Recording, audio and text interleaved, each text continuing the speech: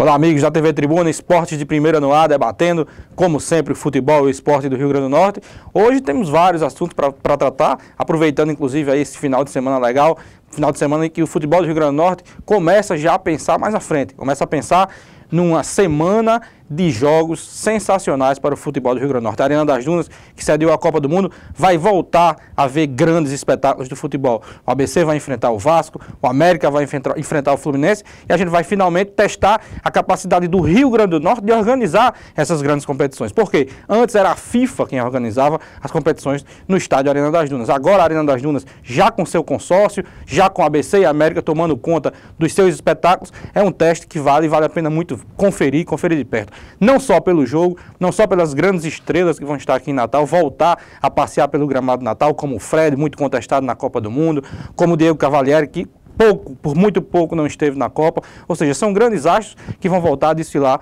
no gramado da Arena das Dunas e a gente vai passar a acompanhar e torcer, claro, pelo futebol do Rio Grande do Norte. O América contra o Fluminense, Copa do Brasil, ABC contra o Vasco, Série B do Campeonato Brasileiro. Se o América passar, é importantíssimo para o futebol do Rio Grande do Norte, assim como se o ABC passar. Isso mesmo, o ABC, que para muita gente já tinha caído fora da Copa do Brasil, o ABC ganhou aí Ares, ganhou mais uma respiração na Copa do Brasil. Isso mesmo, jogador preto do Novo Hamburgo contra a fatos não tem argumentos. Tem choradeira, argumentos não tem. Jogador preto jogou irregular, é claro isso, ele estava sem contrato na partida que ele atuou aqui em Natal e por não estar com contrato, aliás, na partida ele não atuou não, na partida que ele deveria jogar em Natal, por, por não estar com o contrato, ele não pagou a punição de dois jogos que ele tinha. Sendo assim, no segundo jogo, o jogo de Novo Hamburgo, ele atuou de forma irregular e o clube tem que ser punido pelo STJD. E quando eu digo contra fatos não há argumentos, mas há chororô, é porque, claro, que o Novo Hamburgo, claro que a Federação Gaúcha de Futebol vai recorrer da decisão, claro que vai pedir para o clube não ser punido, vai,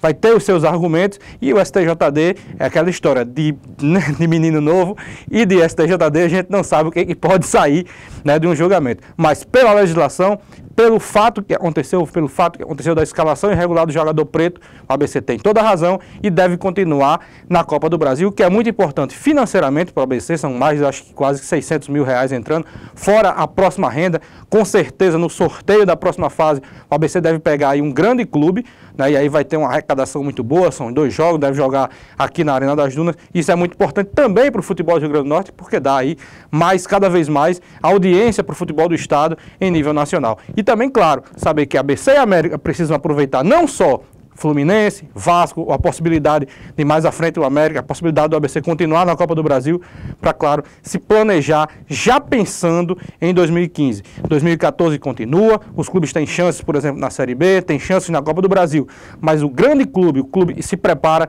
tem que pensar para o ano que vem. ABC e América ano que vem não podem se esquecer que fazem 100 anos e para isso tem que estar bem, bem preparados. É isso, acompanhar o fim de semana, rodada, futebol e também muito esporte amador e a gente volta a comentar claro, do nosso esporte aqui na segunda-feira. Um abraço a todos e um excelente fim de semana.